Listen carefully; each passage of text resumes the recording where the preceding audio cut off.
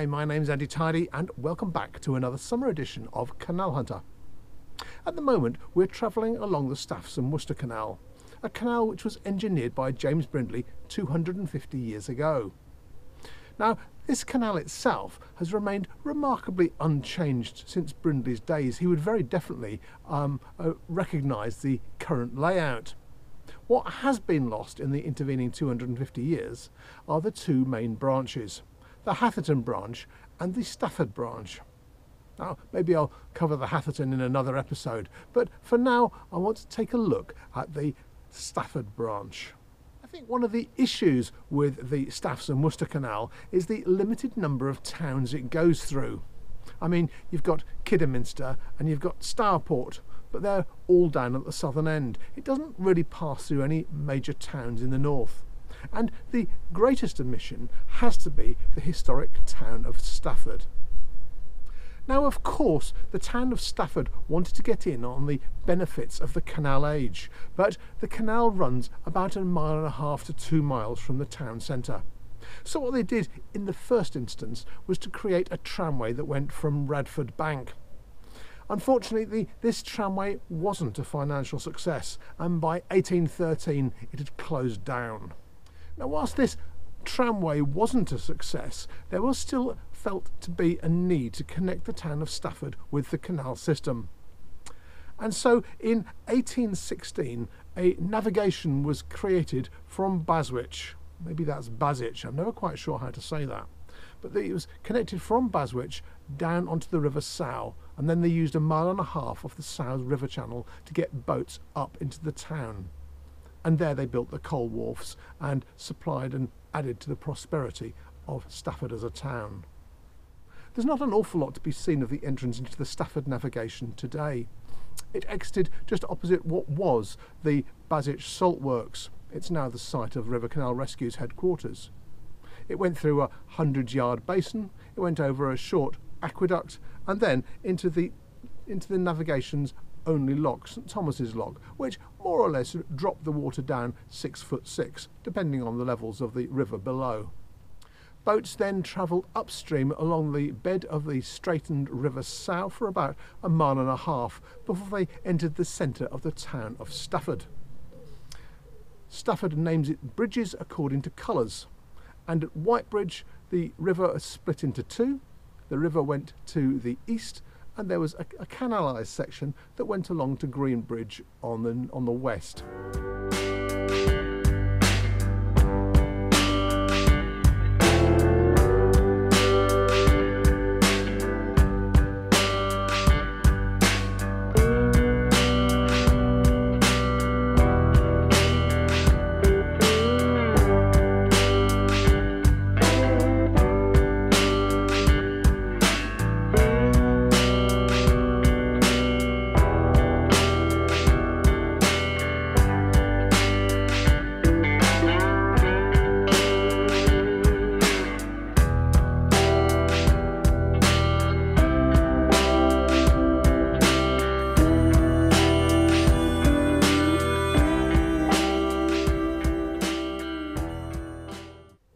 Has to be said that this rapid navigation wasn't actually a great success either.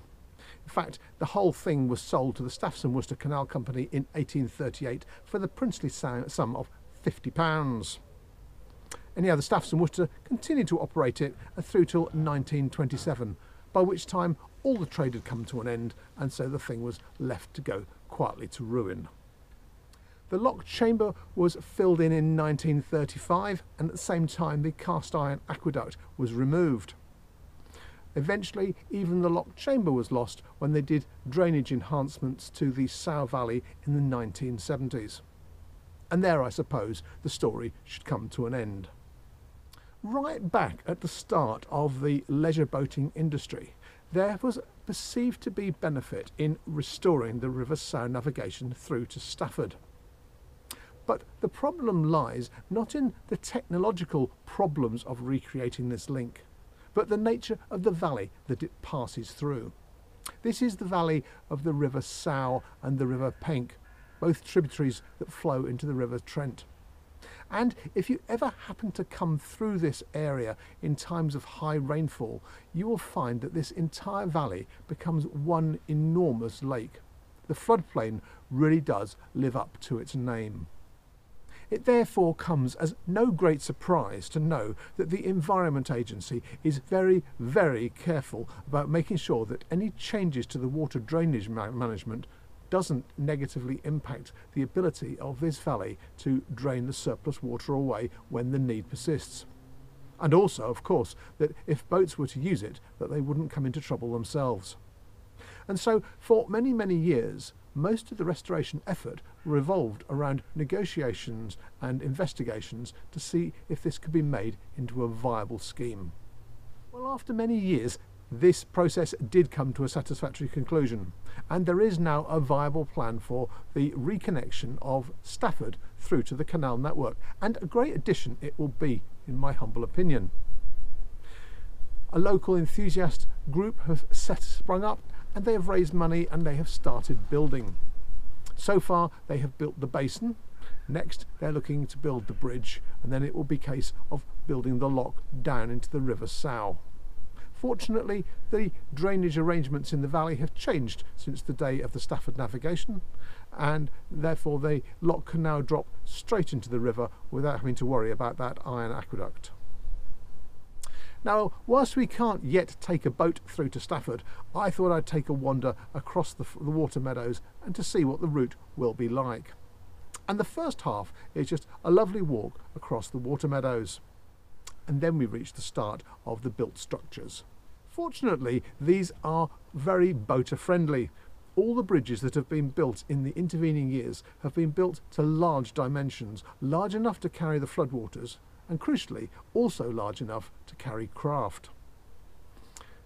The riverside has been lined with a very popular walk, and the second half you're walking on the eastern bank of the river all the way through into Stafford through parkland, through retail industrial estates and eventually through to the town centre.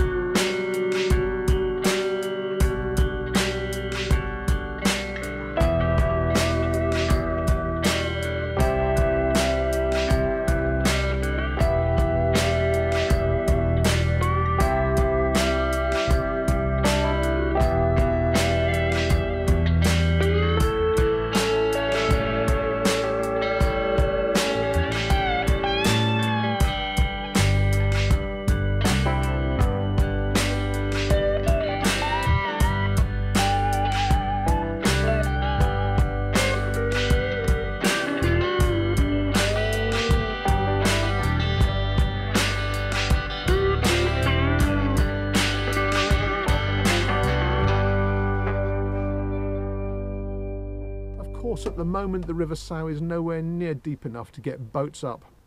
However, all it requires is one regulating weir just below the lock coming in, and that will raise the water level all the way through to the centre of town. The challenge for the canal hunter, of course, is to try and identify the canalised section in Stafford. I mean, this is something that has been lost for a hundred years. But if you look at the old maps, the river still runs up and through Green Bridge. And the coal wharf was immediately to the west of that, sitting directly underneath today's cinema complex. Well, what happens next? Well, so far there is a, quite an active volunteer base who have been busy building the basin opposite the old saltworks. The next things they need to do are to build a new towpath bridge which will allow the basin to be filled with water and with moored boats. And then from there on they can then build the lock down into the river. And from there the money starts to get probably into rather larger figures. I suspect that the water control weir will cost quite a lot of money. However, with those engineering works done at the bottom end, it won't take very long to complete the rest of the work all the way through to the town. How long will it take? Well, my normal answer to any restoration project is 20 years. That's close enough to feel tangibly close, but far enough away to hedge my bets. But I suspect with this one, if they can get the money together to get that infrastructure sorted out at the bottom, and there is a will on the part of the Environment Agency, the whole process could happen very quickly. Anyway, I took a nice collection of photos as I walked up into town and I flew my drone as far as I could.